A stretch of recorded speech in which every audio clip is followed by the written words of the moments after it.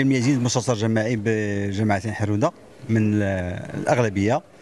اليوم كما كتشوفوا أنا عقدت الدورة هذه في واحد الجو استثنائي بحكم مقتضيات اللي جات بها المراسله السيد وزير الداخليه الموجهة إلى السادة ولاة العمال لأن الدورة ما انعقدتش. كما كيقول القانون في الأسبوع الأول من من الشهر وتطبيق الأحكام أو التوجيهات اللي جات في هذيك المراسلة فانعقدت. اليوم 18 يعني استوفت الشروط القانونية ديالها. طبقا لما جاء كما قلت في مراسلة السيد ديال السيد وزير الداخلية. وهذه الدورة هذه كما كنشوفوا تطرح فيها آه، النظام الداخلي ديال المجلس الجماعي حرودة. طبقا للماده 32 من القانون التنظيمي 113 14 متعلق بالجماعه المحلية.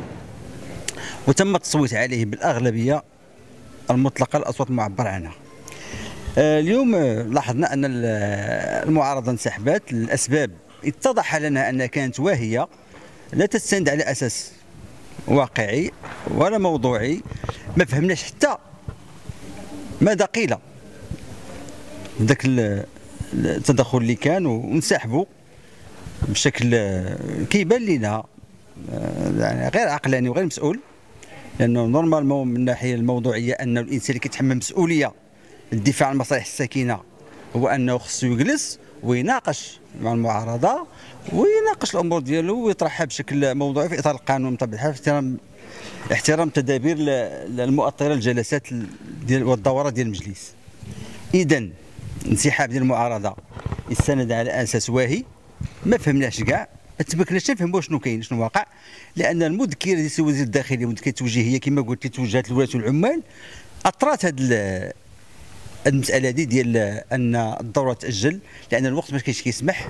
والسلام عليكم ورحمة الله وشكرا. عرفوا أن هاد الأغلبية هذه نقدر نقول المجلس ككل من الأغلبية بالخصوص باش تعرفوا أن عندها ثقافه الانفتاح وثقافه التواصل وثقافة نشر المعلومة واحترام الفصل الدستوري 27 لحق فصل المعلومة. فهي كتشوف أنها تخلق أول مرة في الحدود وربما على الصعيد الوطني الناطق الرسمي المتحدث باسم المجلس. ولا خليه وخليه التواصل فعال إن شاء الله الرحمن الرحيم. لا مع الإعلام لا مع غير الإعلام في إطار الوصول المعلومة وإشراك المواطنين في في مناقشة الشأن العام وحتى إشراكها في خلق السياسة العمومية المحلية.